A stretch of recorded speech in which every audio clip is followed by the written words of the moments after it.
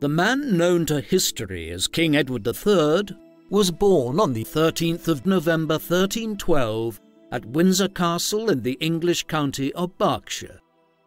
His father was Edward II, King of England, Lord of Ireland, and Duke of Aquitaine in France, who had succeeded his father, the imposing Edward I, otherwise known as Edward Longshanks, in 1307 when he was just 23 years of age while Edward II had produced a son around the time of his accession, this child, Adam Fitzroy, was illegitimate, and as a result, the birth of the future Edward III in 1312 was greeted with great joy as he secured the royal succession.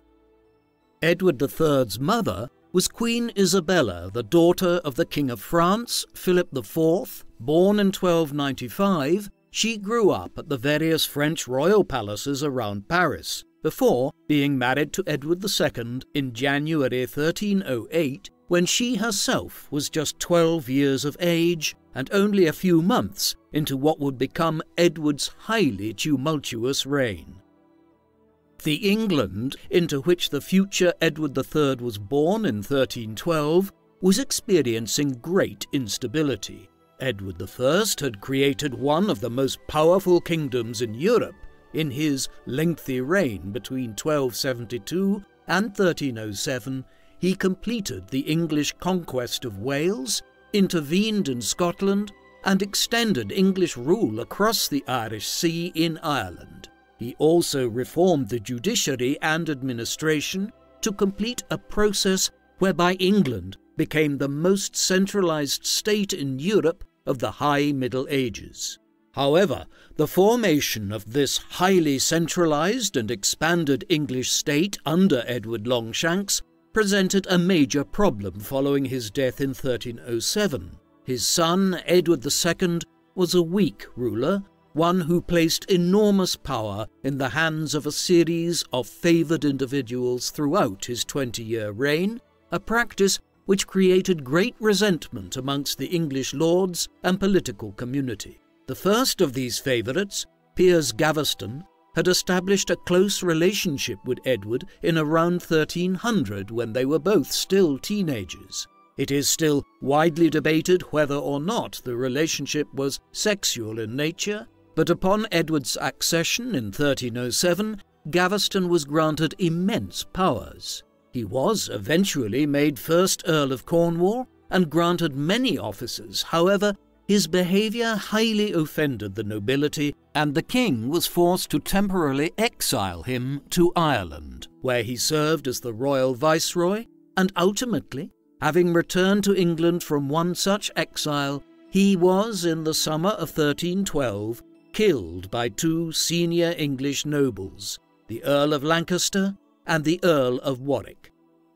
This happened just months before the future Edward III's birth at Windsor Castle, but the years ahead did not see any improvement in the circumstances of Edward II's rule. In the course of the 1310s, the king began displaying a similar partiality to that which he previously showed to Gaveston towards Hugh Despenser, the son and namesake of the Earl of Winchester, as the Despenser family rose in power in the years ahead, the English nobility's opposition to Edward II's rule increased ever further. Additionally, Edward I's gains in Scotland were overthrown in 1314 when the English were heavily defeated by a Scottish army led by Robert the Bruce at the Battle of Bannockburn. As if all this were not bad enough, a famine gripped England in the mid 1310s Thus, the England the future Edward III was living in during his infancy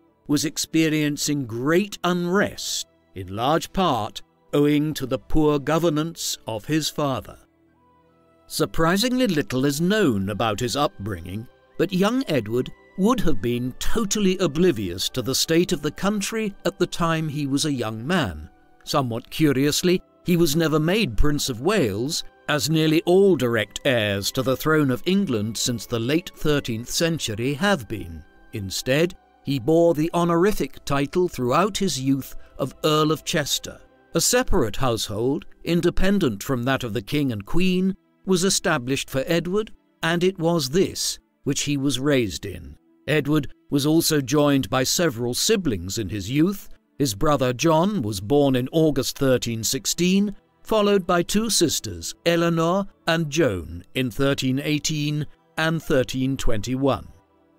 Edward may have been partially educated by Richard Bury, a distinguished scholar of 14th century England, but in any event, his education and upbringing would have centred more on the outward physical world rather than the mental world of books. He learned to read and write English and French, but he was only ever possessed of a rudimentary ability to write Latin. He may also have learned some Flemish and German, but if the evidence of Edward's later life is anything to go by, his primary concerns in his youth would have been horsemanship and skill in arms.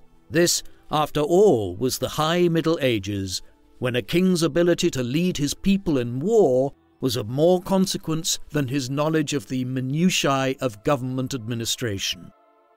As he neared his tenth year, the political situation in England reached breaking point in 1321, a civil war broke out in England, triggered in large part by the king's ongoing support and lavish favour bestowed on the Despenser family and their allies. This revolt was led by Thomas, Earl of Lancaster, a first cousin of the king's, and one of those who had brought down Piers Gaveston in 1312. Although the king successfully snuffed out this rebellion the following year in 1322 and Lancaster was executed that March, the tensions did not end there. Hugh Despenser was now ascendant within England, but he increasingly had a new enemy in the Queen herself. Isabella had always resented her husband's favourites, but she had not clashed with Gaveston, but with Despenser, in the 1320s, it was different. The Queen could not see eye to eye with her husband's favourite, and as the months went by, this increasingly drove her against her husband, and soon a showdown would occur. Ultimately, it was events in France which brought the political instability which had characterized Edward II's entire reign to a conclusion the kings of England had held possessions in France since the time of the Norman conquest of England in 1066. England's conqueror at that time was William, Duke of Normandy, ruler of a large stretch of northern France.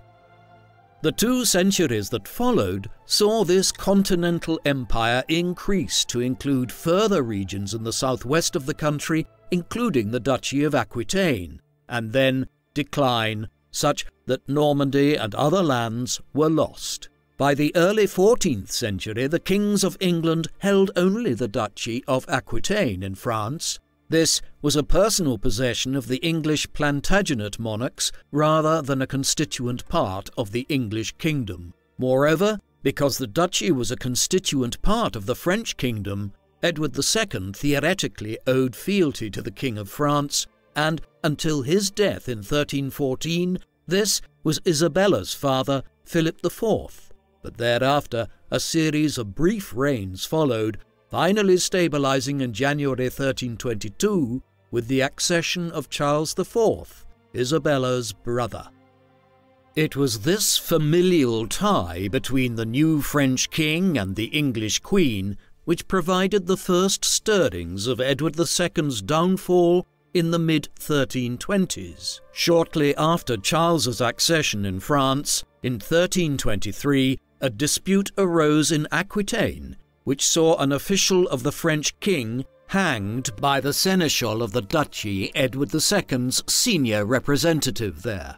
In response, Charles IV invaded the duchy, an action which now led to Hugh Despenser to have Isabella arrested in England as a French alien in the country. Back in France, Charles IV responded to news of his sister's imprisonment in her adopted home by sending an emissary to Edward II in England recommending that Isabella should be sent to France as his ambassador to undertake peace negotiations.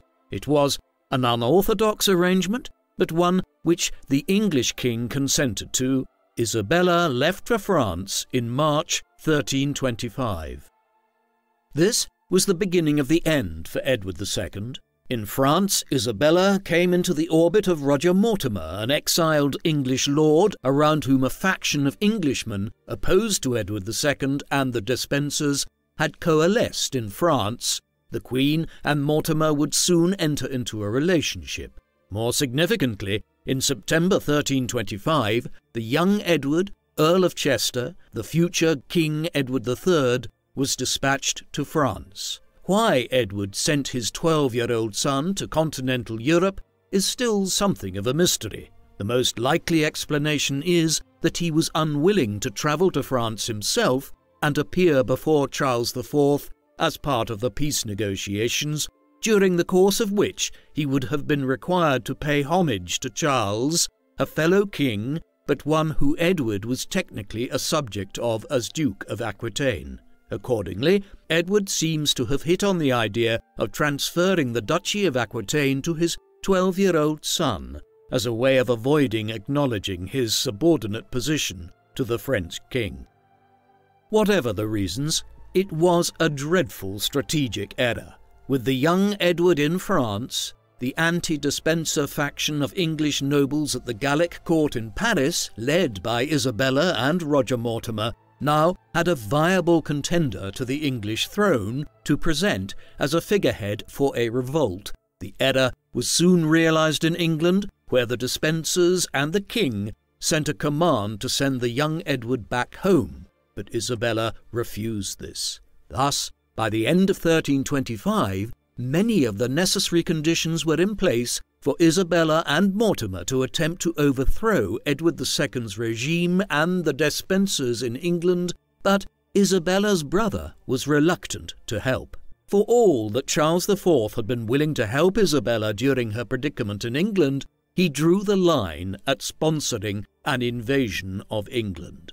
Accordingly, in the summer of 1326, Isabella, Mortimer, and their supporters, with the young Prince Edward in tow, headed for Hainault, a small principality near what today is the border between France and Belgium. There, Isabella came to an agreement with the Count of the territory, William I, that in return for military aid she would marry Prince Edward to William's daughter Philippa. He agreed and provided Isabella and Mortimer with several hundred men. This small force was ultimately enough in late September 1326, Isabella, Mortimer, and about 700 men landed in Suffolk. In the weeks that followed, support for Edward II simply evaporated throughout England. Years of resentments at his reckless rule and the undue favour he had shown the Despensers suddenly burst forth. Most critically, the City of London declared for Isabella and Prince Edward. In mid November, the king was apprehended in South Wales and placed under arrest at Kenilworth Castle, while the senior members of the Despenser family were captured and quickly put to death. Thereafter, the end of Edward II's reign was concluded with a relative degree of peaceful action. On the 13th of January 1327, Parliament resolved that Edward II had to be deposed in favour of his son and namesake. The resolution was put to the king at Kenilworth, and in tears he agreed to abdicate on the 20th of January. Prince Edward was accordingly proclaimed as Edward III, King of England, Lord of Ireland and Duke of Aquitaine, in London on the 25th of January. A week later, he was formally crowned at Westminster Abbey. All of these actions were undertaken in the name of young Prince Edward, who had just turned 14 in November 1326. There is no doubting that Edward was little more than a pawn at this stage, and that power in England now rested in the hands of his mother Isabella, her lover Roger Mortimer, and their followers.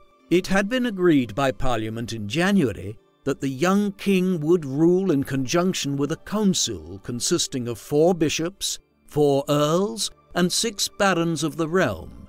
But this arrangement was quickly sidelined by Isabella and Mortimer. The pair would effectively rule England for the three and a half years that followed. A number of problems confronted the realm during these early days of Edward III's reign. The most pressing was the status of the former king, Edward's father.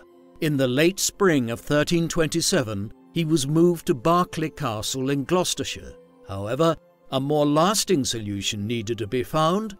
Isabella and Mortimer's regime was quickly creating unrest, particularly owing to dissatisfaction at the power Mortimer now exercised, and this unrest was coalescing in some circles around the idea of freeing the former king and reinstating him on the throne, a final resolution to the matter was reached on the 21st of September 1327 when the man who had ruled England for two decades as Edward II was discreetly murdered on Isabella and Mortimer's orders at Berkeley Castle. An arguably even greater problem confronted the new regime to the north.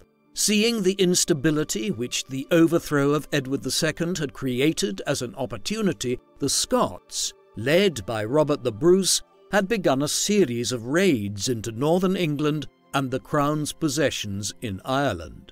Thus, in the summer of 1327, the young King Edward III undertook his first military campaign into the north this has become known as the Weardale Campaign after the River Wear, where so much of it occurred and played out in July and August 1327. During the course of it, James Lord Douglas, in association with the Earls of Mar and Moray, led a contingent of perhaps as many as 10,000 Scots south into northern England.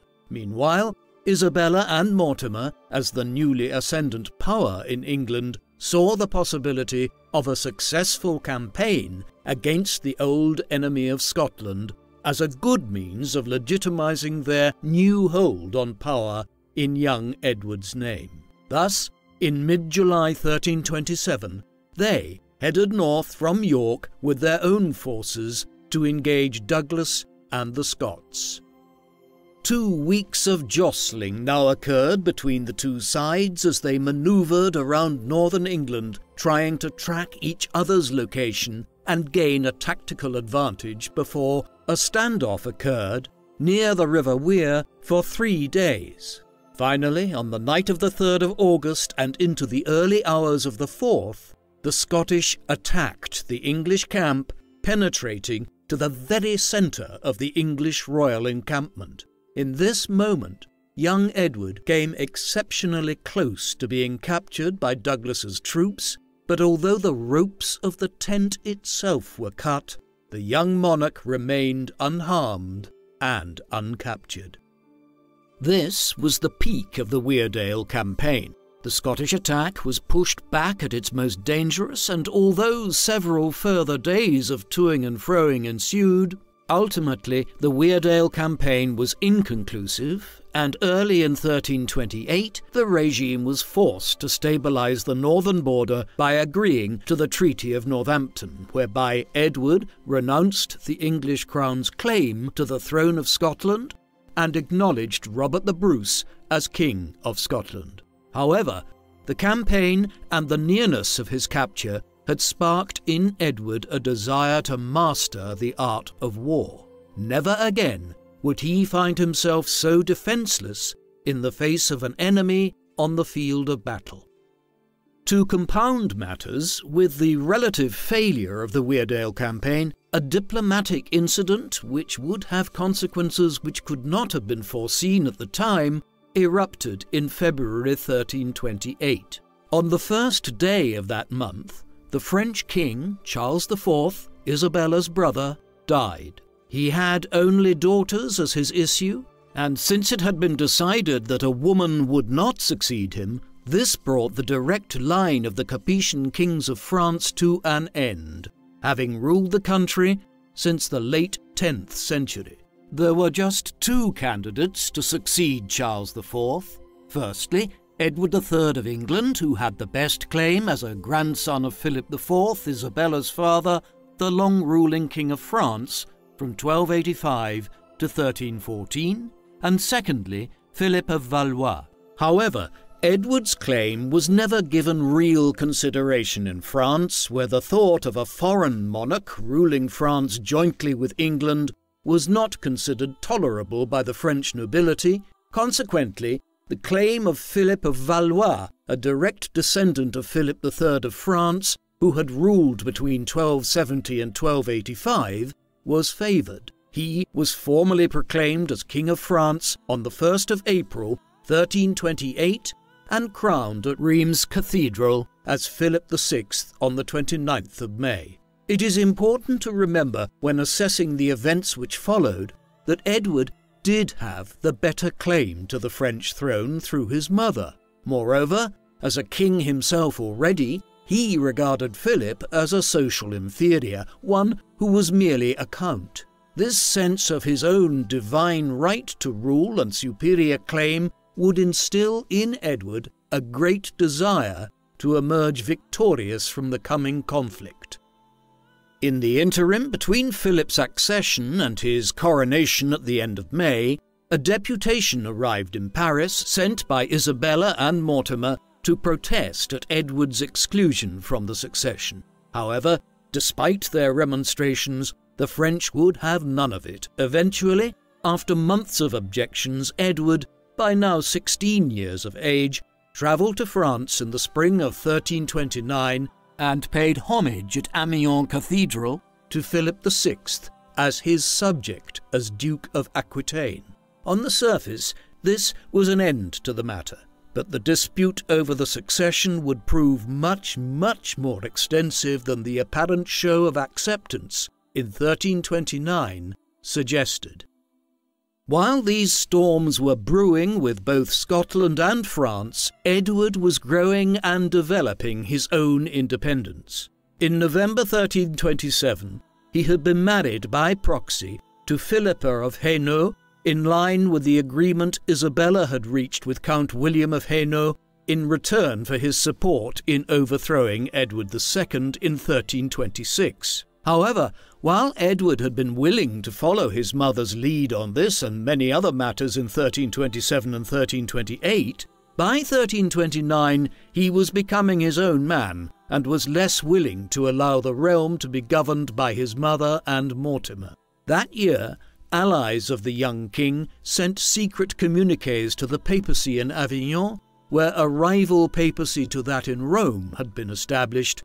These messages alerted the Avignon papacy that the king was not able to rule in his own right. Matters came to a head in 1330. Enemies of Mortimer's had begun to spread rumours by now that Edward II was still alive, and a plot was discovered to launch a rising in the old king's name, led by his half brother, the Earl of Kent. However, what really spurred the young king to action were rumours that Isabella was pregnant with Mortimer's child. Concerns were now raised by Edward's advisers, notably a close confidant, William Montague, that a plan might be undertaken by Isabella and Mortimer to usurp the throne from Edward. In this scenario, Mortimer, who was still married to his wife of nearly thirty years, Joan, would divorce her, then marry Isabella, and the pair would place their own child on the throne. After a confrontation at Nottingham Castle in mid October 1330, Edward elected to act.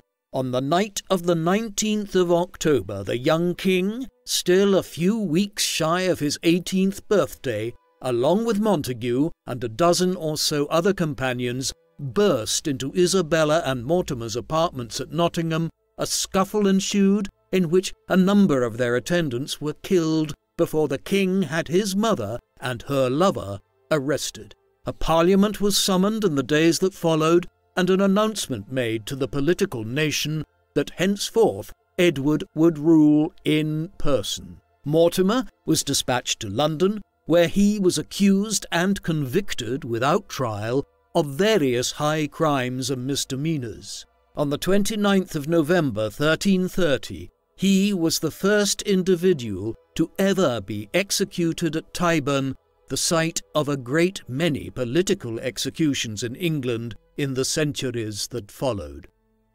Edward spared his mother, But her political career was over.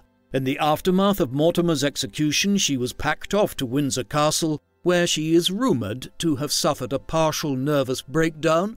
She remained there under house arrest until 1332, before being allowed to retire to Castle Rising in Norfolk. Here, she led an expensive but largely sedentary life for a quarter of a century. Her family retained contact with her, and occasionally there were even talks of her travelling to France, but Edward evidently balked at allowing this to a mother who had favoured Mortimer over her own son in the first years of his reign. She became increasingly pious later in life and became a nun of the Order of St. Clare shortly before her death on the 22nd of August 1358. With his mother and Mortimer now out of the way, Edward III was free from late 1330 onwards to begin ruling in his own right, just as he turned 18 years of age. The years ahead would see many triumphs. While England had endured a quarter of a century of nearly constant turmoil owing to Edward II's weak rule and then the usurpation of the throne by Mortimer, Edward's reign would see England's power restored and expanded. Under his leadership, the country would ascend to a height unparalleled at any other time in the medieval period. This expansion of English power began in Scotland in the aftermath of the Treaty of Northampton, agreed early in 1328 between King Robert of Scotland and Mortimer and Isabella on Edward's behalf. Robert had agreed to accept the territorial claims of several English border lords to lands in southern Scotland, notably Henry Percy and Henry Beaumont. However, little was done to actually convey ownership of the lands in question to these lords of northern England by Robert, nor was that state of affairs remedied by the minority government which ruled Scotland from 1329 onwards, following Robert's death and the accession of his young son, David II. As a consequence, these lords began to agitate to acquire these lands in the early 1330s. Known as the Disinherited, they now began conspiring to overthrow the Bruce line in Scotland by supporting once again the Balliol claim to the Scottish monarchy. The family, which had been championed by Edward's grandfather, Edward Longshanks, over 30 years earlier. Thus, Edward Balliol, the rival claimant to the Scottish throne, was brought over from France by the disinherited lords, led by Henry Beaumont. Simultaneously, they petitioned Edward III for permission to undertake an invasion of Scotland, which was refused, although perhaps with enough implicit support for their actions that the disinherited now elected to launch their own military action independent of the king. In the summer of 1332, these lords launched a naval expedition from Yorkshire, which landed at Kinghorn in Fife in eastern Scotland. Proceeding inland, they won a crushing victory over the Scots at the Battle of Duplin Moor on the 11th of August 1332. The figures are very imprecise, but perhaps as many as 5,000 Scots were killed, with very minimal losses for the forces of the disinherited and the Balliols. That year, Edward Balliol was crowned as King of Scotland, thus setting in motion the Second Scottish War of Independence, which would last for a quarter of a century. Edward had not directly supported the disinherited and Balliol in their invasion of Scotland, but a decision now needed to be made on his stance towards the usurper. At a parliament in England which convened at Westminster in September 1332, it was quickly suggested to Edward that the Treaty of Northampton, agreed in 1328, should be scrapped and Balliol's claim to the throne of Scotland acknowledged. In order to gain Edward's support, Balliol even let it be known that he was willing to concede that Scotland would be a fief or vassal state of the English crown and would pay homage to Edward III. These offers aside, Edward was reluctant to commit himself to a potentially lengthy war in Scotland, but his hands were forced early in 1333 when Balliol was pushed into northern England, having suffered a military reverse at the Battle of Annan in December 1332.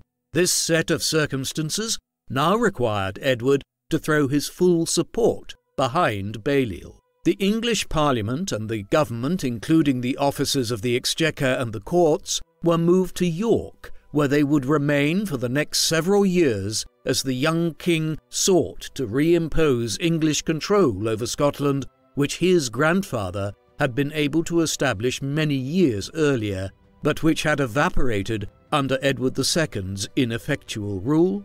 It is an indication of the single mindedness and clarity of purpose with which Edward III pursued his goals throughout his reign that he simply relocated the organs of English government to the north of the country once he committed himself to the war in Scotland. The first action to be taken was to try to seize the border town of Berwick, which was a part of Scotland at the time. A siege was initiated by Balliol with Edward's support in March of 1333. The king arrived himself to campaign on the border in the early summer, by which time the garrison and townspeople had made it clear to the government of David II to the north that they would surrender if they were not provided with military support by mid July. The response to this ultimatum from the townspeople of Berwick would lead to the first of Edward III's many great military victories. The guardian of Scotland during David II's minority, Sir Archibald Douglas, now assembled a significant army of upwards of 20,000 men and advanced southwards to engage Edward's forces. They clashed on the 19th of July 1333 at Halidon Hill, some two kilometres to the northwest of Berwick. Edward III started the Battle of Halidon Hill heavily outnumbered. The English army consisted of less than 10,000 men, while Douglas led approximately twice this amount to Berwick. However, what Edward lost in numbers was partially made up for in strategic positioning. The king had occupied Halidon Hill specifically because it dominated the surrounding region, and he had resisted all temptations to move, even when Douglas raided further south into northern England in the days leading up to the battle. The English were also possessed of superior military abilities, which would benefit Edward not just at Halidon, but many other times in the years to come. Paramount here was the use of the six foot long longbow, which could deploy volleys of iron tipped arrows that penetrated chain mail armour in rapid succession. This was a much more effective projectile than the slow, cumbersome crossbows that were the mainstay of most European armies in the early 14th century. The widespread use of the longbow was just one component of the military revolution which Edward III was responsible for in the mid 14th century. The battle at Halidon Hill commenced at about midday. Although numerically superior, the Scots were required to advance up Halidon Hill where Edward's armies occupied the high ground. It would have been advisable for Douglas to have never tried to engage Edward while he maintained the high ground. But with the ultimatum given by Berwick to the Scottish government about to expire the next day, Douglas had little option but to try to relieve the town before it surrendered to the English besiegers. The result was an utter rout, the English longbow was used to devastating effect to decimate the Scottish armies as they attempted to advance up the hillside. Eventually, the Scottish forces broke, and the English, led by Edward, advanced downwards themselves, chasing the fleeing Scots towards the sea. By the end of the day, thousands of Scottish troops were dead, perhaps as many as half of Douglas's army of 20,000, while Douglas himself and five Scottish earls lost their lives during the battle. Halidon Hill was an immense triumph for Edward, one of the most substantial victories ever won by an English force against the Scots. It also began developing Edward's reputation throughout Europe as a very formidable military commander. Moreover, English arms were now in the ascendant, where previously English armies had been regarded on the continent as distinctly inferior to their counterparts in France and elsewhere. Politically, the victory placed Edward in an extremely advantageous position in Scotland. Berwick quickly surrendered, and a number of Scottish magnates paid homage to the English king in the days and weeks that followed. More pressingly, Balliol was restored to the Scottish throne, and in February 1334 he agreed to surrender eight counties, constituting the entirety of southern Scotland below the Firth of Forth and the Solway Firth. Then, in June 1334, Balliol paid homage to Edward as his liege lord at Newcastle. David II and his followers fled to France, completing a whirlwind campaign in which Scotland had been almost entirely brought under English control in 18 months. Thus, by mid 1334, the northern frontier seemed to have been secured in a way which it had not been since the days of Edward Longshanks, but where Edward III succeeded, his erstwhile ally Edward Balliol seemed to constantly be found wanting.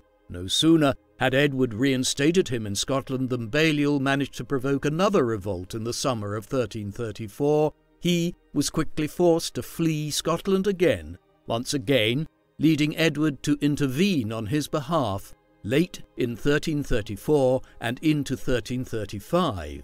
In 1336, he would even campaign into the Highlands, but his encroachments continued to generate resistance.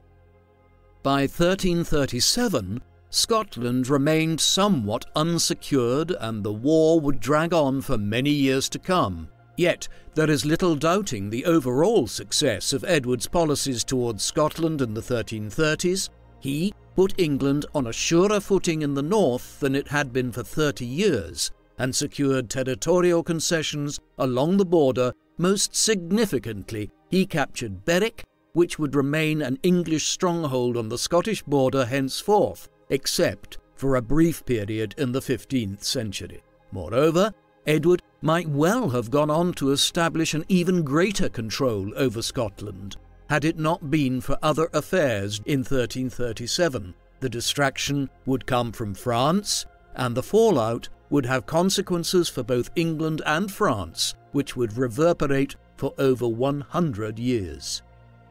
The causes of what has come to be known as the Hundred Years' War lay in the earlier death of Charles IV in 1328 and the end of the Capetian dynasty in France.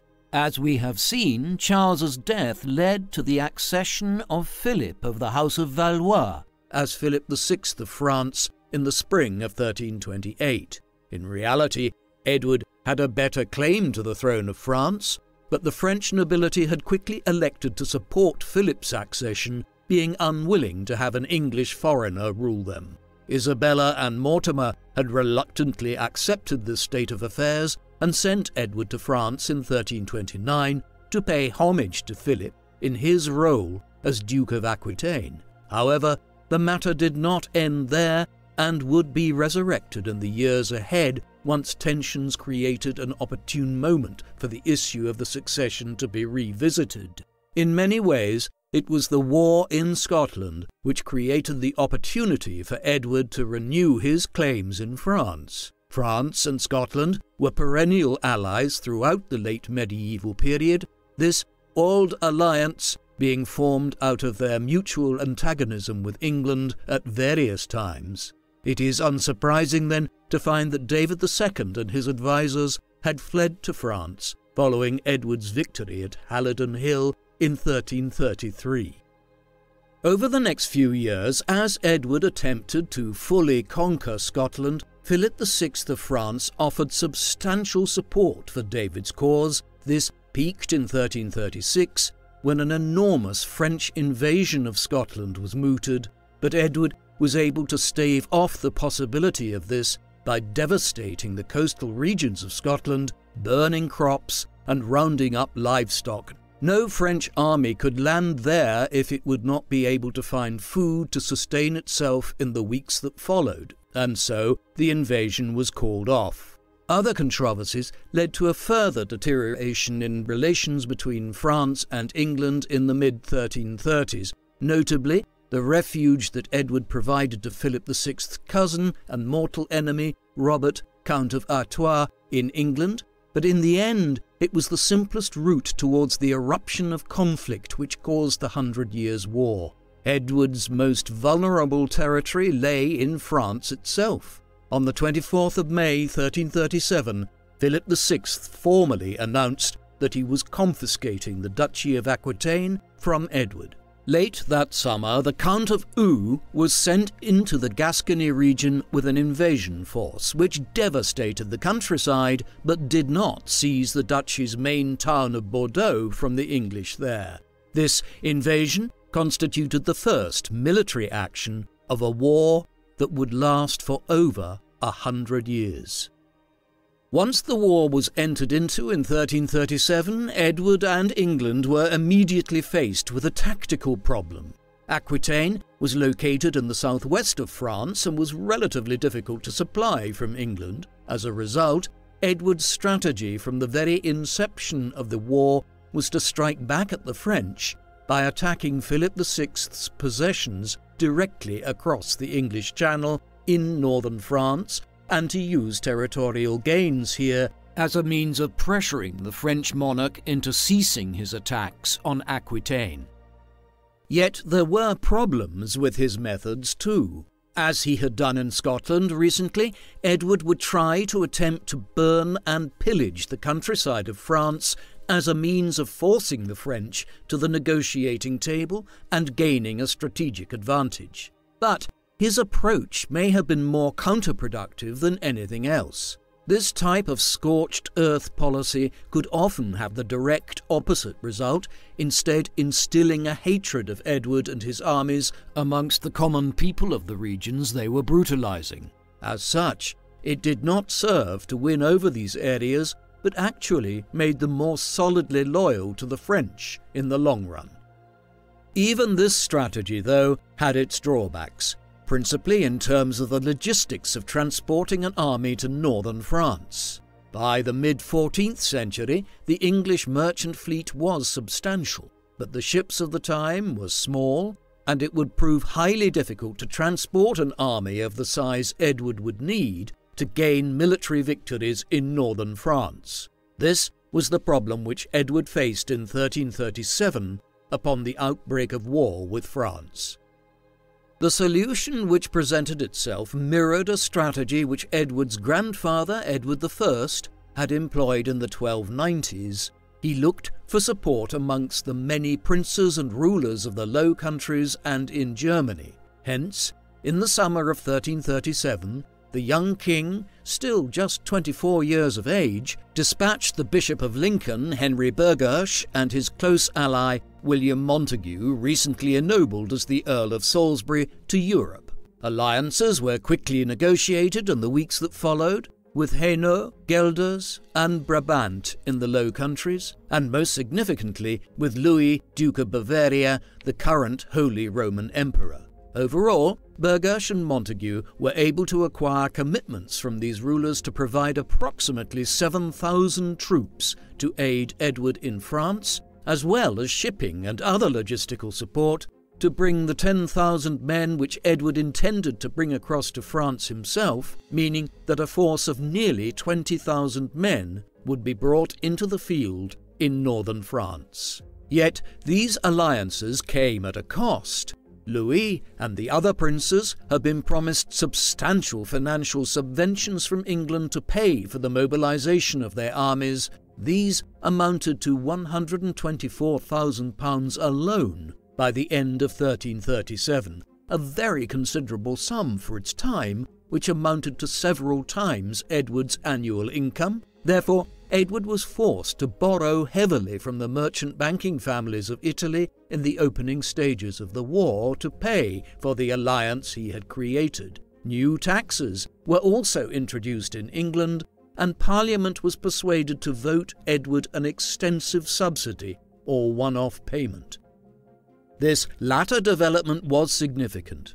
Though some accounts tend to view the manner in which kings such as Edward III and earlier his grandfather Edward I had recourse to Parliament for subsidies and financing as a self indulgent use of the Parliament, such recourse was actually crucial to the development of the English parliamentary system. It was always understood in late medieval and early modern times that parliaments were called when the king or queen of the day needed funding from the political nation, and the political nation in return could express its grievances and requests to the monarch. Edward's use of Parliament in this way actually facilitated the gradual development of the Mother Parliament in the 14th century.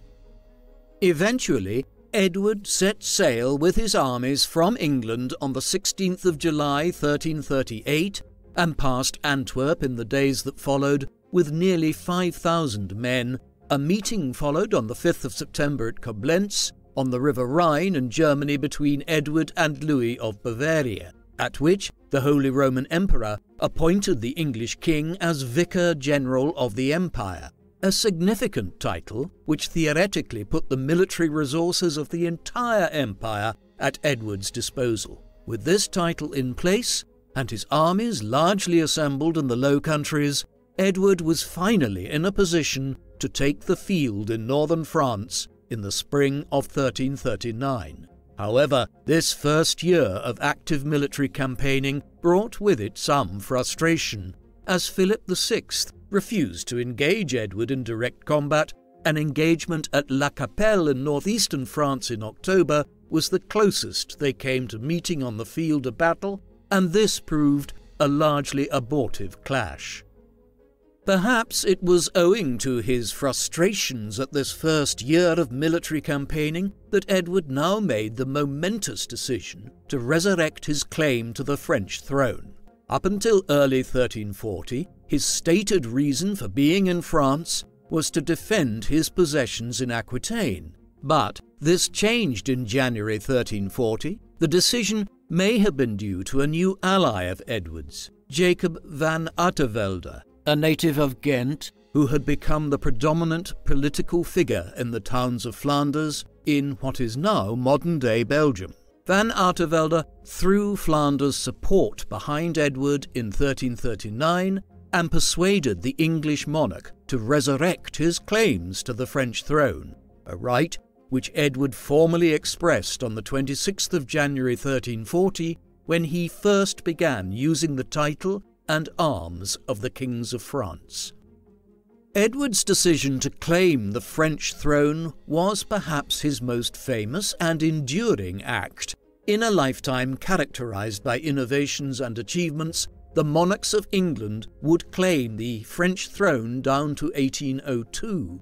More immediately, it gave England reason to involve itself on the continent in ways which would allow the English state to retain a foothold in France until the middle of the 16th century. Having claimed the French throne at the outset of 1340, the focus of the war shifted that year to the naval campaign in the English Channel. Philip VI had been building up an impressive fleet in the early stages of the war, which, with contingents provided from his ally, the Kingdom of Castile in Spain, amounted to just over 200 ships by the summer of 1340.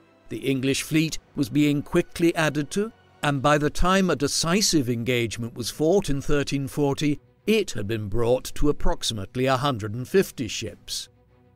The decisive naval engagement of this period of the Hundred Years' War occurred at Sluys, off the coast of Flanders on Midsummer's Day, the 24th of June, 1340. Here, the numerically smaller English fleet managed to engage the French ships from relatively close quarters.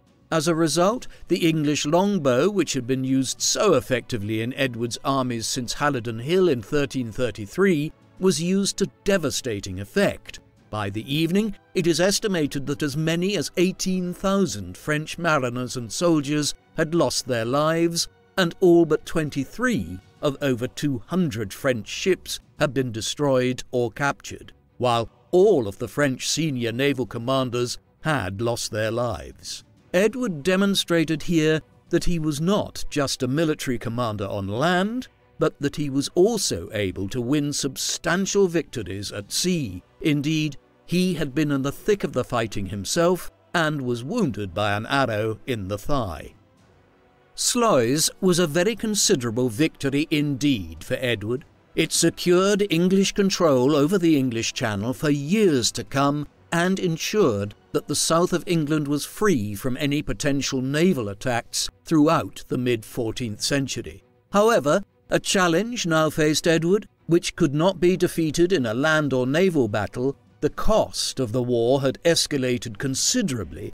Accordingly, in November 1340, a few months after the victory at Sluys, Edward returned in a secretive fashion to England to confront the government which he had placed in charge of affairs in his absence on the financial issues. Notably, the Archbishop of Canterbury, John Stratford, was furious at first, but a reconciliation of sorts was eventually patched up between the pair in 1341, as Edward's attention was yet again drawn to Scotland.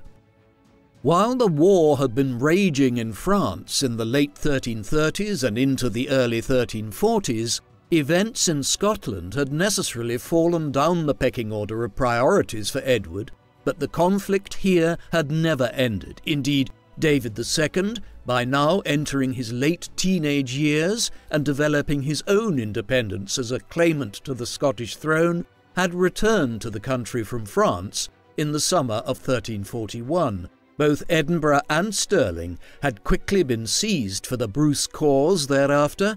These occurrences now required Edward's attention, and in the autumn of 1341 he once again made Scotland a priority, campaigning on the Anglo Scottish border throughout the winter of 1341 and 1342. Yet while Edward might have wished to divert his attentions in a sustained fashion towards Scotland, before long the war in France became the ultimate priority again. In April 1341, John III, the Duke of Brittany, the ruler of the Duchy of Brittany, a substantial fiefdom in the extreme northwest of the country, died without a clear heir. The succession dispute which now arose presented an opportunity for Edward to test whether his claim to the title of the Crown of France had any weight in France.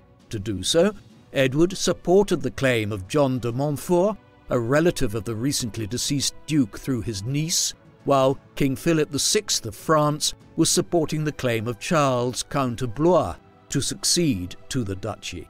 Thus began what is known as the War of the Breton Succession, a major component part of the wider Hundred Years' War and one which would drag on in its own right for the ensuing quarter of a century. In the immediate sense, the war in Brittany offered Edward a good opportunity to continue to challenge Philip's authority in France, one which he exploited expertly in the years ahead. The War of the Breton Succession continued apace into the mid 1340s, and it was this localized conflict which was the pretext for Edward to begin preparing a major new invasion force in England in 1345. It would be the following year before it finally left for France, but when it did, the campaign of 1346 would produce some of the most significant engagements of the entire Hundred Years' War and some of Edward's most famous military victories. The exact goals and purpose of the 1346 expedition to France were kept largely secret while it was being prepared in England early in the year, and indeed it is still not clear if there was a specific strategy in mind from the beginning, or if the approach was eventually decided upon and developed in response to events in France. Whatever the overall plan had been, we know what actually occurred. Edward's army, consisting of between 12,000 and 15,000 men, landed on the Cotentin Peninsula in Normandy on the 12th of July 1346. His goal was to undertake an extensive chevauchée, or military raid, across French territory, a strategic approach which Edward became particularly fond of in France and which formed another central plank of the military revolution which Edward implemented amongst the English armed forces in the mid 14th century. The campaign was enormously successful in the weeks that followed. The first major strategic victory came on the 26th of July when the town of Caen in Normandy was seized by Edward. A sack of the city lasted five days thereafter before Edward's forces headed west, the route to Paris now lying open. As substantial as the sacking of Caen had been, though, the main military success of Edward's 1346 campaign occurred a month later. As the English king advanced on Paris, Philip VI was furiously gathering his forces to protect the French capital, and by mid August, the French monarch had gathered together an army consisting of well in excess of 20,000 men, which heavily outnumbered Edward's forces, which numbered approximately 12,000 men by the late summer. Meanwhile, Edward had skirted Paris and turned north towards Flanders, where he hoped to combine with some of his erstwhile allies from the Low Countries. Thus, when the two monarchs finally clashed on the 26th of August 1346, it was far to the north of Paris, near Calais, just outside the town of Crécy-en-Ponthieu.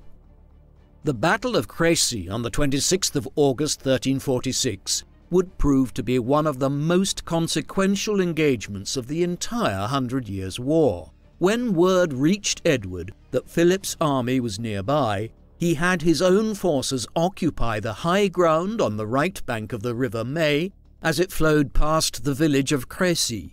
The use of the high ground had served Edward well at Halidon Hill, and it would do the same here.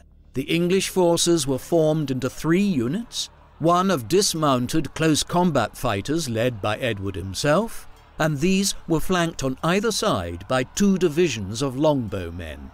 The French attack came late in the afternoon and would prove disastrous. The favoured French projectile weapon of the crossbow proved completely inferior to the English longbow, and a division of French crossbowmen quickly broke under sustained English longbow fire. Philip then attempted to send his cavalry directly up the hill towards the English centre, but, like the Scottish at Halidon Hill, the French cavalry was completely overpowered by sustained longbow fire from the English as they attempted to surmount the high ground. By the time the cavalry charge reached Edward's arrayed close quarters infantry division, they were already severely weakened. The resulting clash was an enormously bloody affair with the French suffering many casualties, by the time the French broke off and left the field in defeat towards dawn on the 27th of August, approximately 4,000 French troops had been killed, while just a few hundred of Edward's troops had been lost. If there were any doubt by 1346 of the superiority of the English longbow against continental methods of warfare, and the use of the crossbow as a projectile, the Battle of Crécy dispelled that doubt. It also solidified Edward's reputation as one of the great military commanders of Europe, having comprehensively defeated the French king, despite being outnumbered by nearly two to one at the outset of the engagement on the 26th of August. Significantly, Crécy was also notable for the use by Edward's forces of a small number of cannon, the first recorded instance of the use of artillery in a field battle in Western Europe. The immediate implication of Edward's astounding victory at Crécy was that northern France was now largely unprotected. As a result, Edward turned his forces towards the nearby town of Calais and laid siege to it on the 3rd of September. It would take nearly a full year to capture the northern French port, but eventually, on the 3rd of August 1347, it fell this must surely stand as one of Edward's greatest accomplishments. Calais would remain in English hands for over two centuries, only finally being retrieved by the French in 1558. The victory at Crécy and the inception of the eventually successful siege of Calais were not the only major successes Edward's England was enjoying in the late summer and autumn of 1346. While the king was in France, the conflict had continued on England's northern border with Scotland. In the early autumn, David II now attempted to take advantage of Edward's absence on the continent by invading northern England. It would prove to be a catastrophic error. He was encouraged in this by Philip VI, who called on his Scottish ally to honour their alliance by attacking England. On the 17th of October 1346, David II's forces, numbering approximately 12,000 men, clashed with an English force of just slightly over half the number David brought into the field at Neville's Cross near Durham. The English forces, led by Lord Ralph Neville, comprehensively routed the numerically superior Scots. Perhaps as many as 2,000 of the Scottish army's troops were killed, but most ominously, David II was captured by Neville's forces. Thus, by the autumn of 1347, Edward's fortunes were soaring. In France, he had won a stunning victory over Philip at Crécy in the late summer of 1346, and he followed it up a year later by capturing the town of Calais. In Scotland, the de Bruce contender to the throne had been captured, leaving Edward in an extremely powerful negotiating position both in France and Scotland. To consolidate his position, Edward negotiated a nine months long truce in October 1347 and set off for England victorious. It was at this zenith of achievement back in England during the winter of 1347 and 1348 that Edward elected to follow through on an idea he had been harbouring since at least 1344. Enthralled by the idea of King Arthur and his Round Table, Edward had long had designs to set up his own Round Table and knightly order, and in 1344 he had even begun construction work on a headquarters for such a knightly order at Windsor Castle. Now, with his military fortunes prospering in both France and Scotland, he elected to implement a version of this scheme. This was to be a knightly order dedicated to St. George. It was named for the sword belt which the knights of the order would carry, thus was born the Order of the Garter, a chivalric order which remains the most senior order of knighthood in the British honours system down to the present day. The order's emblem is a garter with the motto Honi soit qui mal y pense, which, translated from the Middle French, means Shame on him who thinks evil of it. The phrase is said to have been uttered by King Edward at court when the Countess of Salisbury's garter slipped from her leg while she was dancing. The king uttered the words as a rebuke to some courtiers who were laughing at the incident and so his words became emblematic of chivalrous honour. However, the story is most likely spurious, and there is no actual written account of this version of events until the 1460s, over a century after the founding of the order. At the time of its foundation, the Order of the Garter consisted of Edward himself and 25 knights. Many of those who were amongst the founder knights are unsurprising. For instance, Edward's eldest son and namesake, Edward, known as the Black Prince, was one of the first knights, as was Henry, Earl of Lancaster, and several of the most senior nobles of the realm and supporters of Edward's cause, such as Thomas de Beauchamp, 11th Earl of Warwick, Jean de Grailly, Ralph Stafford, 1st Earl of Stafford, William Montague, 2nd Earl of Salisbury, John de Lisle, 2nd Baron Lisle, Bartholomew Burghersh, 2nd Baron Burghersh, John de Beauchamp, 1st Baron Beauchamp, John de Mohun, 2nd Baron Mohun, Thomas Holland, 1st Earl of Kent, and John Grey, 1st Baron Grey. But there were one or two surprising figures among the first Knights of the Garter. In particular, the inclusion of Roger Mortimer, 2nd Earl of March, seems a curious pick.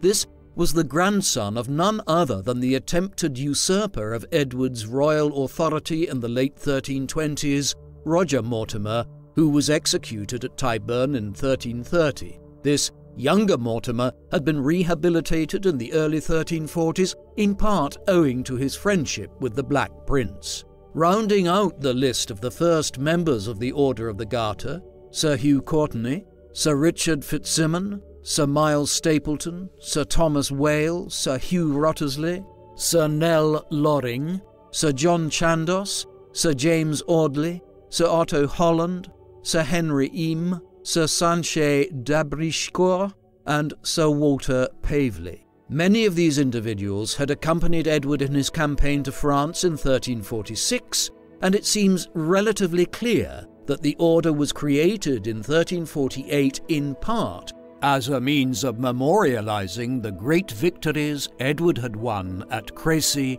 and Calais. In tandem with the establishment of the Order of the Garter, Edward began a vast reconstruction of Windsor Castle. Conscious of the propaganda value of an imposing royal residence, Edward oversaw the most significant expansion of the primary royal residence of the High Middle Ages, eventually expending £50,000 on the new complex, the most expensive building project undertaken by any English monarch during the medieval period. And yet, it was just one of many great residences which Edward could hold claim to.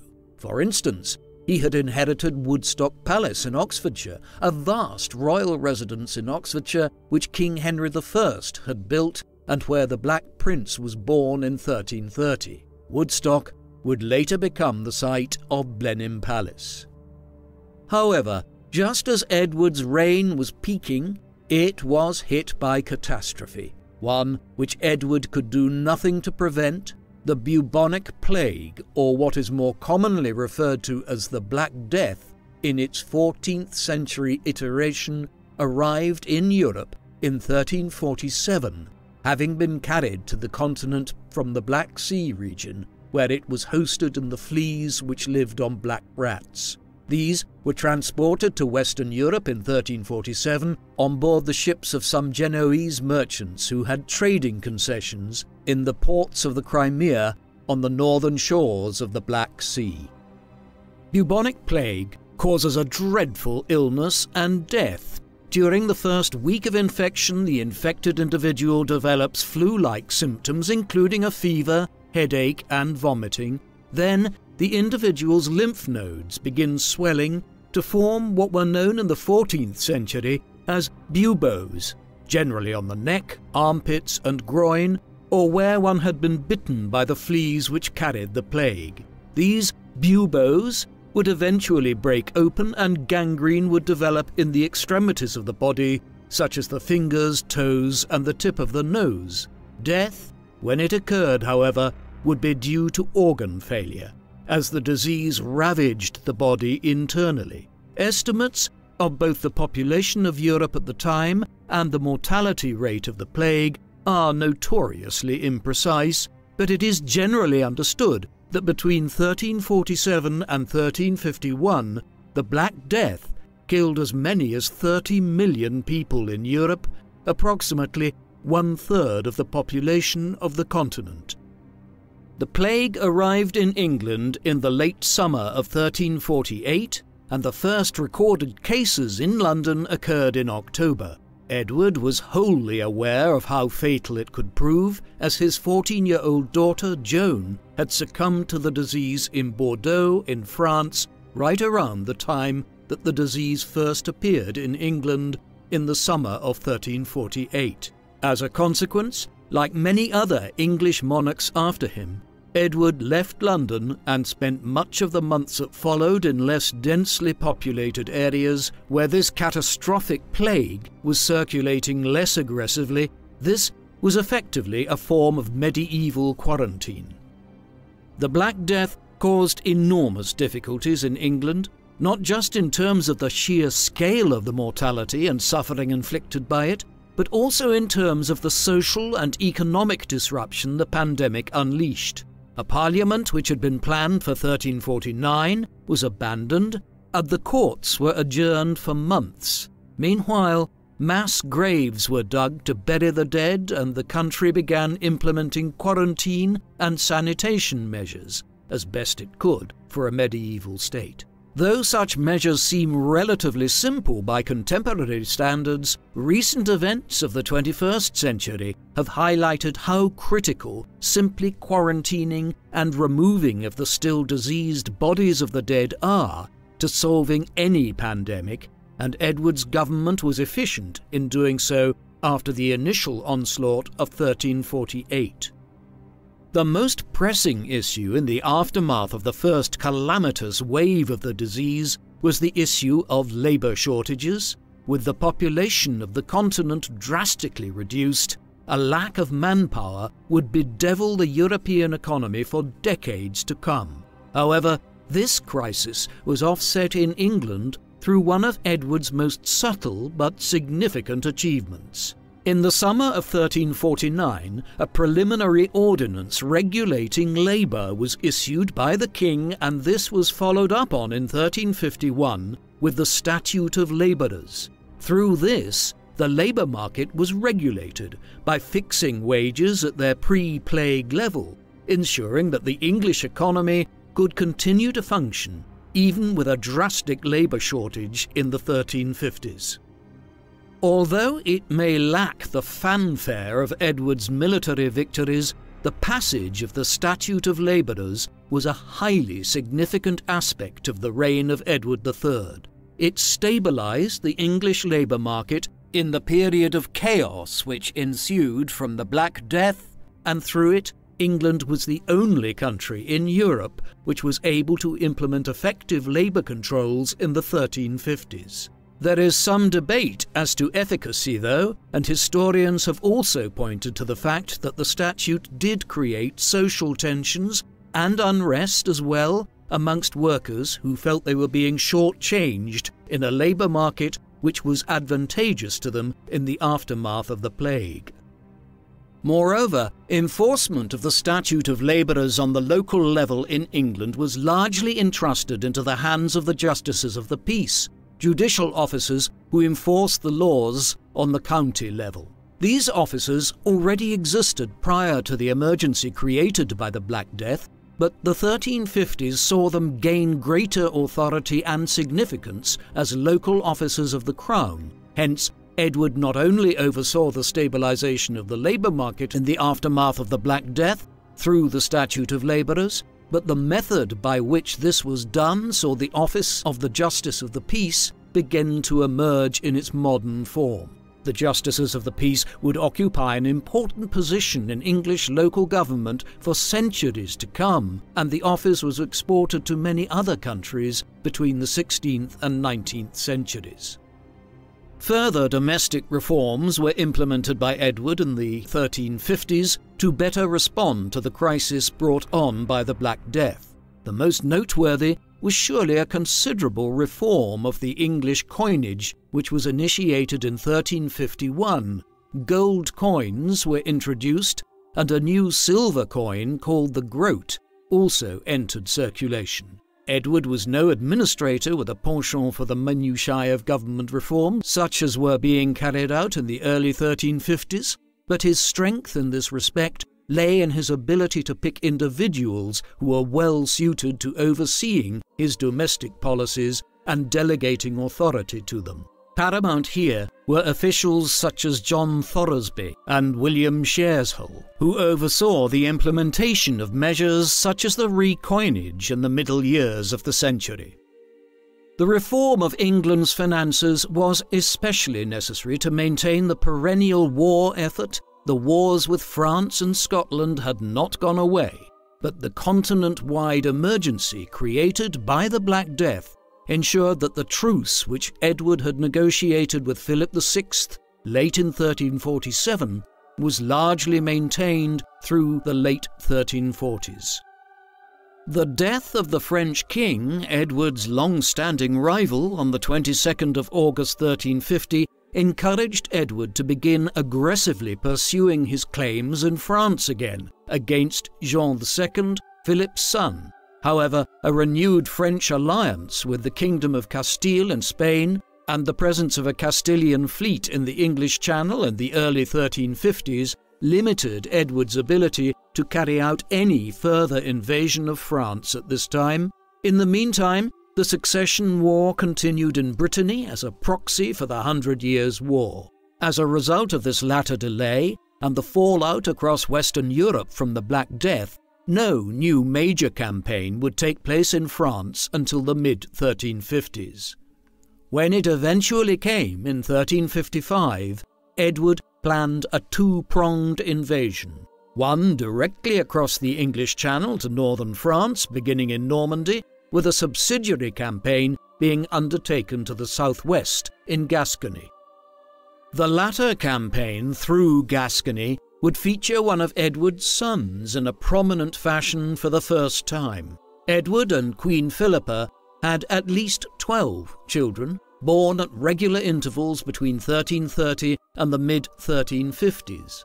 Nine of these lived beyond infancy, a high ratio for the late medieval period.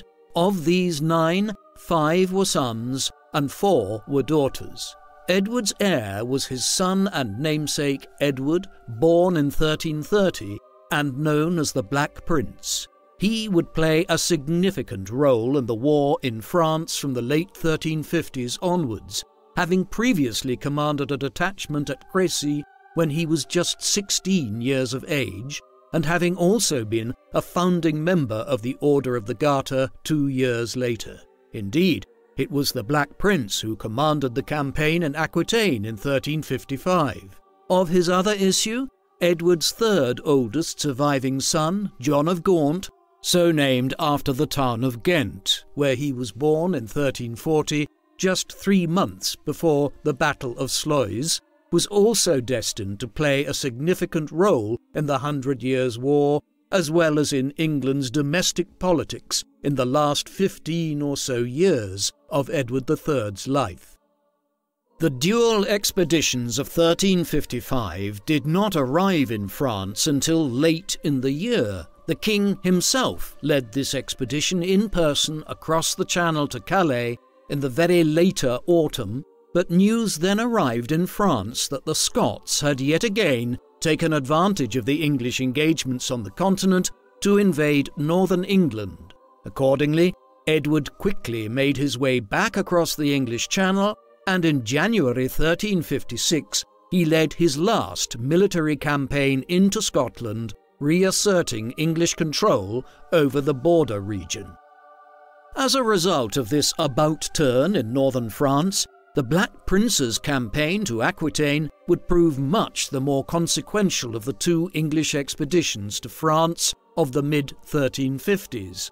The heir to the throne travelled with roughly 300 ships and several thousand men for southwest France in mid September 1355 and was at Bordeaux by October. The military campaign season was nearly over by this time, but Edward Jr made a short foray inland towards Toulouse before retiring back to Bordeaux for what remained of the winter. While the campaigns of 1355 had proved lackluster, that of 1356 was one of the most significant of the Hundred Years' War. The Black Prince set out in July on a great chevauchée, an extended military raid through France, proceeding east through central France with a force of approximately 6,000 men. The Black Prince's forces burned several towns and villages, including Bourges, before doubling back towards Bordeaux in late August.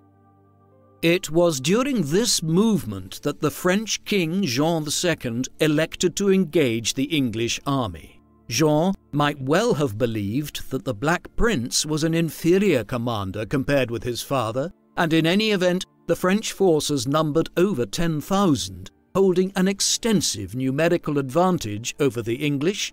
But if John II believed these factors would give him the upper hand, he was sorely mistaken. At the resulting Battle of Poitiers, which took place on the 19th of September 1356, the Black Prince's forces heavily defeated the French yet again, a feigned retreat first throwing the French lines into disarray, and the English longbow once again being used to devastating effect. Perhaps as many as 2,500 French troops were dead by the end of the battle, but most substantial was the capture of Jean II himself. With David II of Scotland still in English custody since the Battle of Neville's Cross ten years earlier, the kings of France and Scotland were now both Edward III's captives. This placed the English king in a highly advantageous position. He eventually elected to ransom both in return for military, territorial, and political concessions. On the 3rd of October 1357, the Treaty of Berwick was reached with the Scots, whereby David II was released after 11 years in captivity. Edward Balliol had relinquished his claim to the Scottish throne in 1356, so Edward III could now have pressed his own claim to Scotland had he wished to, but instead he opted for a more sanguine approach. David II was released in return for a ransom of 100,000 marks, or just under £67,000, but the arrangement ensured Edward's final acceptance of the De Bruce king's suzerainty over Scotland, thus bringing the long Second Scottish War of Independence to a conclusion after a quarter of a century of conflict. The arrangement eventually arrived at in France, in return for Jean II's release, took longer to negotiate. In the interim, the French king was taken to England and held at various locations, including the Tower of London, and a preliminary treaty to release Jean and put an end to the war was worked out in London in 1358. Through this, it was agreed that Edward would be acknowledged in his possession of Calais and granted the neighbouring county of Ponthieu in the north around the modern day region of Picardy while the Duchy of Aquitaine would be expanded to incorporate much of western France, a very sizable ransom would also be paid in return for Jean's release. Yet this draft agreement could not be finalized, and as a result, in 1359, Edward began preparing a new military expedition against France and expanded his demands to include former English possessions in Normandy as well as control over Maine and Anjou, and suzerainty over the Duchy of Brittany. In return, Edward promised to renounce all of his claims on the throne of France, but the territorial concessions the English king was now seeking would have involved England taking direct possession of almost half of France and virtually the entirety of the north and west of the country. The French could not seriously consider acquiescing to this latest negotiating position, even with their king in English custody. As a consequence, active military campaigning recommenced in the autumn of 1359, when an army of over 10,000 men, commanded by Edward himself, departed across the Channel for Calais. A long and destructive march through eastern and central France followed in the ensuing months, with Edward threatening, though not taking, both Rheims and Paris, although he was unable to win a strategic victory which would have improved his bargaining power at renewed peace negotiations. By the late 1350s, the French were wary of meeting Edward and his English forces head on, having suffered multiple defeats against English armies which they heavily outnumbered over the past 15 or so years. In the midst of this stalemate, negotiations recommenced in the early summer of 1360. The resulting peace, or Treaty of Bretigny, so named after the town near Chartres where it was negotiated, was eventually ratified by Edward on the 24th of October 1360. Under its terms, Jean II was to be released in return for an enormous ransom of £500,000. Edward was to renounce his claims on the French throne, and in return, he would receive the territorial concessions which Jean had agreed to in London in 1358, being Calais, the county of Ponthieu, and an enlarged Duchy of Aquitaine. Ultimately, some of the terms of the Treaty of Bretigny would never be ratified. Specifically, Edward was reluctant to relinquish all his claims on the crown of France and Jean II was reticent about removing all claims he had to suzerainty over the Duchy of Aquitaine. Yet the treaty was agreed to and would hold for nearly a whole decade. The treaty is typically seen as marking the conclusion of the first phase of the Hundred Years' War. If one were to try to evaluate it in these terms, it would have to be concluded that the treaty signified a major victory for England in that same conflict and marked arguably the peak of Edward's reign. England's territorial possessions in France were greater as a result of the Treaty of Bretigny than they would be at any other point during the Hundred Years' War. Clearly, then, the Peace of 1360 was a major victory for Edward and ensured that during the 1360s the English king could rest easy knowing he was at the height of his powers in France and the Scottish border had been firmly secured with the arrangement reached with David II in 1357. By comparison with the three decades which had preceded it, the 1360s were a comparatively tranquil period of Edward's reign. The Peace of Bretigny would last for nearly the whole of the 1360s, and as a consequence, England enjoyed the first period of sustained peace of Edward III's long reign. Given the entirely advantageous footing the country was on by the time the first stage of the Hundred Years' War ended in 1360, this was hardly an undesirable situation. On the domestic front, there were a number of important developments during these years. For example, in 1362, with the assent of Parliament, Edward set about reforming the wool staple the mechanism whereby wool was exported out of England. The goal now was to set up a new staple at Calais for the export of wool to the continent through a single continental port. The initiative had considerable significance as the English wool trade, arguably the country's greatest export commodity for the ensuing three centuries, was largely sold through markets in northern France and, above all, in the Low Countries through the thriving mercantile centre of Antwerp.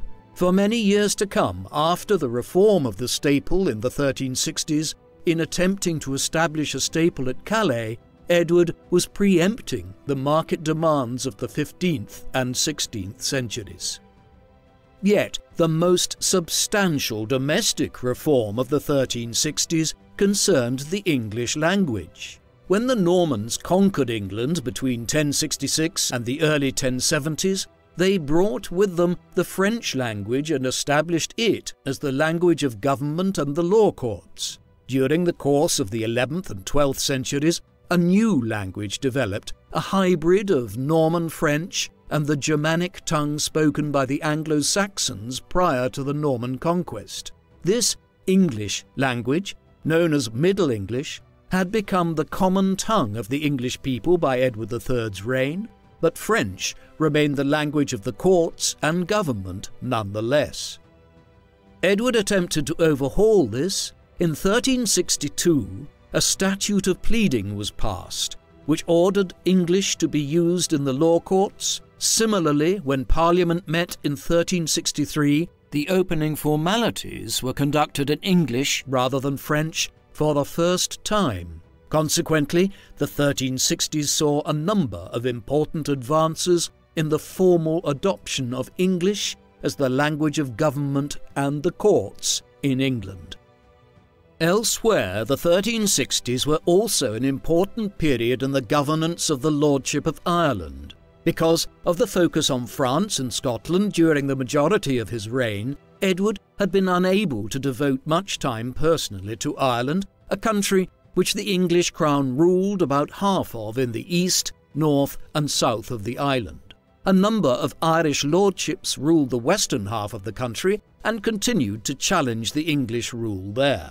Accordingly, in the early 1360s, Edward entrusted the governance of Ireland to his second eldest surviving son, Lionel of Clarence, this appointment bore significant fruit in the years that followed. In 1366, a parliament was held at the town of Kilkenny in the Irish Midlands, in which a series of statutes were promulgated to separate the English from the Irish in Ireland and protect the English parts of Ireland from Irish encroachments. The Statutes of Kilkenny, as they became known, would serve to insulate the English of Ireland from Irish cultural interference in the decades that followed. For instance, the statutes prohibited intermarriage between the Irish and English and put measures in place to prevent the English of Ireland from adopting Irish cultural and political customs. These measures substantially arrested any potential decline of English power in Ireland during the mid 14th century and, in one shape or another, formed a major foundational basis of the English lordship of Ireland through to the early 16th century. While the 1360s was a relatively placid period of Edward's reign, the last decade in which he reigned, the 1370s, would bring with it fresh challenges, yet any assessment of Edward III's reign and his legacy must acknowledge that the king was not the central figure in the governance of the realm during the last seven or eight years of his reign. We first find references to Edward's health failing in 1369, when he was 57 years of age. He would live on for another eight years, but there are clear indications that the king was suffering an increasing number of afflictions, both physical and mental, as the 1370s wore on. As with so many instances of illness in medieval monarchs, we cannot be entirely sure what Edward was actually suffering from during his last years, although it seems that the most serious of his maladies might have been caused by a series of strokes which he experienced in the last eight or so years of his life.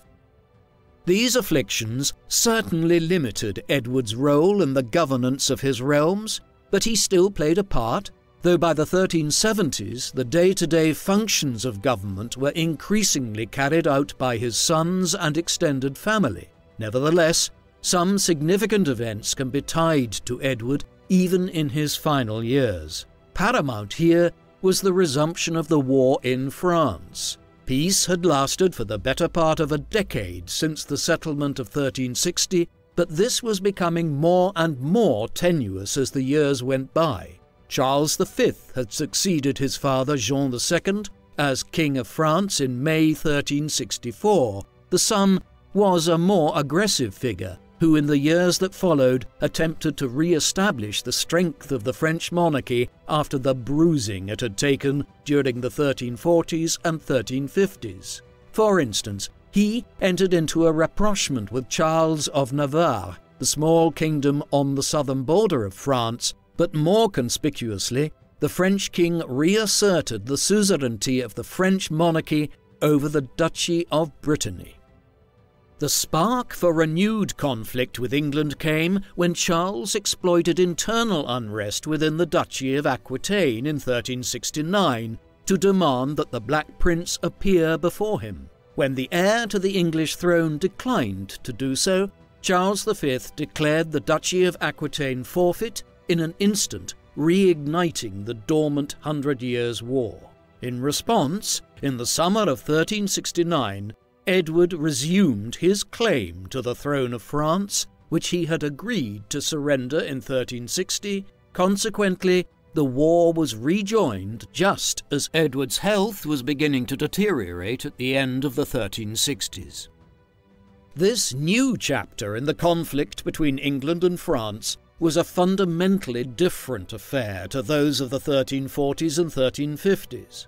For one thing, Edward would not lead an invasion of France himself, and the execution of the military campaigns was to be largely carried out by Edward's sons, the Black Prince and John of Gaunt. Notably, in this regard, Edward had intended to lead an expedition to France himself when the conflict first broke out in 1369 but he had to abandon his plans for this, and it was eventually John who commanded this army when it crossed the Channel.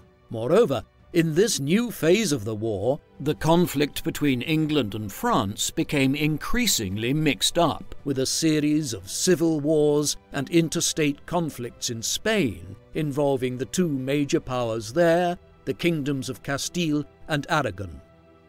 It is perhaps a reflection on how much the victories of the 1340s and 1350s had been dependent on the dynamic leadership and brilliant generalship of Edward III that in this latest phase of the war, England floundered without the old king's direct involvement. Much of the Duchy of Aquitaine was overrun in the early 1370s, in part because the Castilians, with whom the French had allied, managed to defeat the English at sea off La Rochelle in southwestern France in June 1372. This defeat limited the degree to which English territories on the continent could be resupplied from England.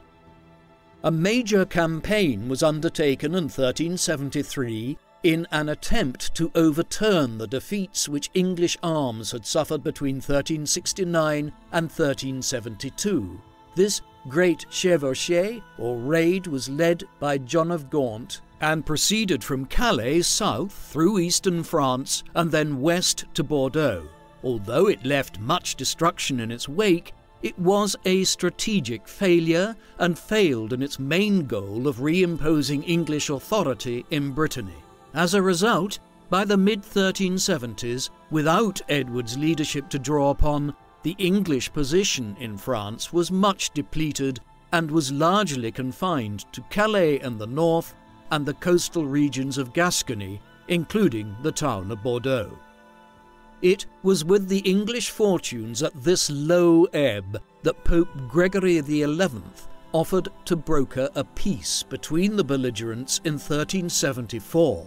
The resulting treaty, known as the Treaty of Bruges, was agreed on the 27th of June 1375. It allowed England time to regroup, but was unpopular at home in large part because the peace had seen the English position in the north of France weakened. Yet it would not last long. The issue of the sovereignty of the Duchy of Aquitaine was not resolved by this latest treaty, and in the months ahead this became a cause for fresh unrest. The English wanted Aquitaine to be freed entirely from French sovereignty, a move which would ensure that the kings of England would never have to pay homage to the monarchs of France again. While Charles V was somewhat understandably reluctant to effectively abandon any claim he had on the duchy, war would quickly resume again around this issue and several others in 1377. But when it did, it would be the task of the government of Edward's successor to oversee it. While the last years of Edward's reign saw some reverses in France, on the home front a number of domestic crises were navigated with admirable skill these largely concerned the issue of financing a fresh period of war on the continent, and in 1371 and again in 1373, parliaments were called in order to obtain a loan and subsidy from the lords and gentry of England. In both instances, Edward had to make several concessions to the political nation in order to attain the requisite financing, notably by replacing a number of his senior ministers who were churchmen with lay officials. Yet resentment was building about the kingdom's finances throughout the decade, which came to a head in 1376 in a parliament convened just one year before Edward's death, known to history as the Good Parliament.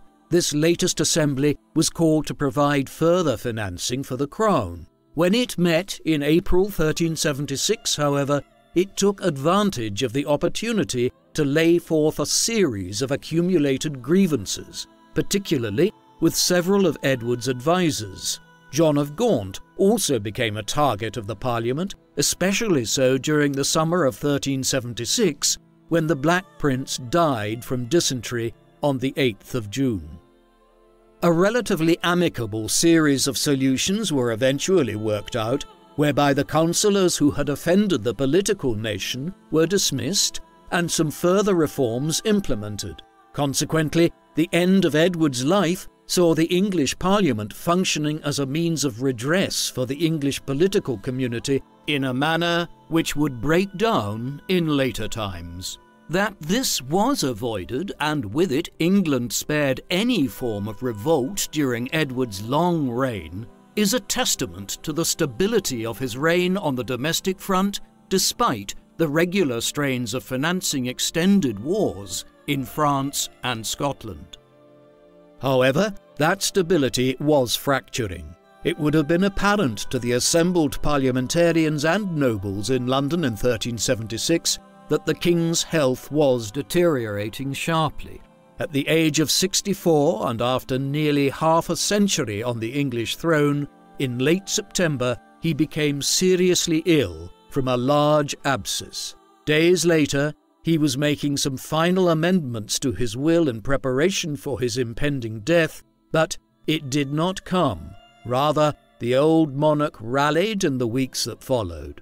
However, early in February 1377, the abscess burst. As a result, his movements were highly encumbered for the remaining months of his life. When he died at Sheen Palace, where Richmond Palace would subsequently be built, near London, on the 21st of June 1377, it was almost certainly from another stroke. He was 64 years of age. He died having achieved so much in his lifetime in a long and influential reign as England's monarch. The most significant chronicler of Edward's reign and the first half of the Hundred Years' War, Jean Froissart, wrote stirringly of Edward's death and funeral in his chronicles, an event Froissart lived through himself. On the 21st of June 1377, the gallant and noble King Edward III departed this life to the deep distress of the whole realm of England, for he had been a good king for them. His like had not been seen since the days of King Arthur, who once had also been King of England which in his time was called Great Britain. King Edward was embalmed and placed with great pomp and reverence on a bier borne by twenty four knights, dressed in black, his three sons and the Duke of Brittany and the Earl of March walking behind him, and carried thus at a slow march through the city of London, the face uncovered, to witness and hear the grief of the people their sobs and screams and lamentations on that day would have rendered anyone's heart. It was a fitting last journey for one of England's greatest kings. Edward was succeeded by his grandson Richard, the son of the Black Prince, just ten years old at the time of his accession. Richard II would rule until he was usurped by his cousin Henry Bolingbroke in 1399 Richard's reign would be characterized by military reverses and mass social unrest within England, the most significant being the Peasants' Revolt of 1381, his reliance, like his great grandfather Edward II, on a cohort of favourites aroused widespread discontent throughout the Plantagenet realms and foreshadowed the Wars of the Roses of the 15th century. Consequently, Edward III's reign appears all the more remarkable in retrospect for having been an oasis of stability in the midst of the chaos that otherwise characterized England's politics throughout the 14th and 15th centuries. There is little doubting that Edward was one of England's most substantial and successful monarchs ever. In the 19th century, a generation of historians began to vilify the king and questioned whether his reign could be considered a success. However, this view is problematic, as the writers of the Victorian era attempted to impose their own value systems on the appraisal of Edward instead of assessing the king on his own terms as a late medieval monarch. For a king who was born and lived in warfare the moral concerns of later generations would have made little sense. Indeed, imposing moral judgments on the actions of people who lived hundreds of years ago is always problematic. More recently, historians such as Ian Mortimer and William Ormrod have successfully restored Edward III's reputation. While there is no denying that Edward's last years saw some setbacks, particularly in France, he was at this time very ill, and power had largely devolved to his sons. When we disregard this latter period, there is no doubting the success of Edward's reign. Under his rule, England reached the peak of its power during the medieval period. At points between the 1330s and 1360s, Edward was not just the ruler of England, Wales, and much of Ireland, but was able to impose his authority fairly thoroughly on Scotland and large sections of northern and western France. Some of the territorial gains were either permanent, as in the case of Berwick on the Anglo Scottish border, or long lasting, as in the case of the town of Calais in northern France. The Hundred Years' War, which he initiated, was a key component in the eventual formation of England and France into modern nation states, owing to the manner in which it drew on their administrative and financial resources and fostered a fledgling sense of patriotism through national endeavour. Indeed, when Edward sent requests for men and money around his dominions to fund his campaigns in France, he was effectively commanding his local officials to come up with better ways of taxing the country and exploiting its resources. This is the very basis of the modern nation state, one which is expertly placed to exploit the resources available to it to the maximum extent possible in the name of government. Much of this territorial expansion was achieved on the back of both Edward's outstanding abilities as a general and the military revolution which he oversaw during his rule. The English longbow made England the military superpower of its day. At Halidon Hill, Crecy, Neville's Cross, Poitiers, and several other battles, English armies consistently managed to defeat French and Scottish armies, which were substantially numerically superior to those commanded by Edward and his nobles. Moreover, an English army was quite possibly the first to utilize field cannon in all of Europe at Crecy in 1346, nor was Edward's military prowess confined to land. As at Sluys in 1340, Edward demonstrated how effective the English longbow could be, even at sea. Given all this, there is little doubting that Edward III should be viewed as one of the great commanders of English and British military history, a figure who stands alongside John Churchill, 1st Duke of Marlborough, whose command of England's forces during the War of the Spanish Succession in the early 18th century catapulted England to the rank of major powers in Europe, or perhaps even Arthur Wellesley, 1st Duke of Wellington, whose successful prosecution of the Peninsular War in Portugal and Spain, which took place between 1807 and 1814, became the bane of Napoleon's dominance of Europe, while Wellington was also central to Bonaparte's final defeat at Waterloo in 1815. Certainly, Edward III's legacy as a military commander probably surpasses his grandfather Edward I, while he may not have been able to convert his military victories as successfully into political victories, there is little doubting Edward III was a more skilled commander on the field of battle. Edward's legacy should not just be measured through assessing his prowess on the battlefield. In the late 1340s, he established the Order of the Garter, England's highest chivalric order to this day and in doing so contributed to England being considered the most chivalrous kingdom in Western Europe at the height of the Middle Ages. As a further statement to the world of his rule, he also re edified and expanded Windsor Castle as a symbol of English royal power. Another lasting achievement was seen in the late 1340s and early 1350s, when Edward successfully steered England through the crisis wrought by the arrival of the bubonic plague in Europe. The Black Death was the greatest crisis faced by Europe during the late Middle Ages. Perhaps as much as a third of England's population died within the space of half a decade. But rather than succumbing psychologically to the onslaught of illness and death, which ravaged England in the late 1340s, Edward guided the country through this period by stabilizing the economy through the passage of the Statute of Labourers, moreover, in strengthening the office of the Justice of the Peace, in order to effectively implement the statute on the local level in England, Edward's government made a lasting contribution to English local administration, one which was subsequently exported to Ireland, North America, India, and Australia in later centuries.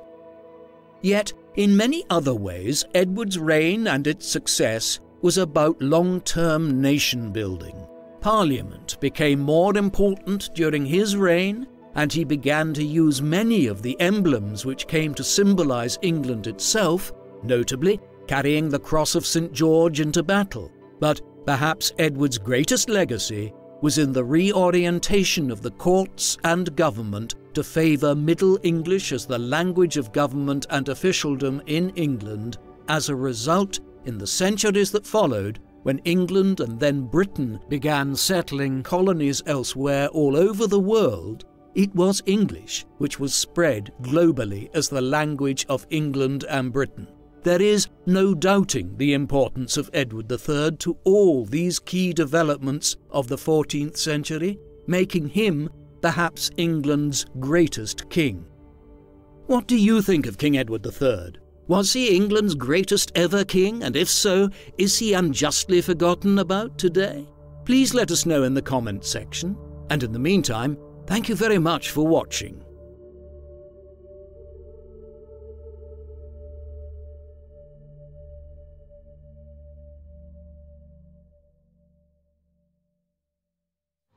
Download Rise of Kingdoms to support the people profiles. Join Rise of Kingdoms Civilization Competition, Final Round. We chose Rome, one of the greatest empires of the ancient world. Choose from 12 civilizations, each with their own distinctive generals and soldiers. Build your own civilization in this real-time strategy game. Maybe Rome, maybe Byzantium. You can make it an invincible empire where you will experience realistic battle scenes, use your unique soldiers, architecture styles, commanders, and your own buffs to reign victorious, making you the most powerful leader in the kingdom. Feeling excited? Join global players in an alliance. You will live together, farming, discussing commanders, destroying your enemies, and participating in battles to make you more powerful among the 100 million global players that you could possibly know. Click the link in the description, fight for the civilization you support, to win awards including iPhone 13s and AirPods. This video is sponsored by Rise of Kingdoms. Download it now and support the people profiles.